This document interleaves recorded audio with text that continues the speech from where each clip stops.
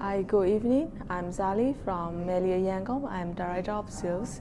Uh, in this uh, sales and service mastery training, I learned a lot different with the other sales training.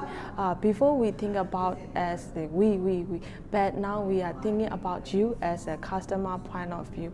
So we start from this uh, training almost, we, uh, we will use like uh, ask the question for six used by using six action driver and we will consider from the customer point of view and also I will take this opportunity to my colleagues uh, in, from the sales and marketing team and thank you so much Mr. Jonathan for giving us a chance and giving and sharing the knowledge and giving us the, this valuable knowledge to us. Thank you so much.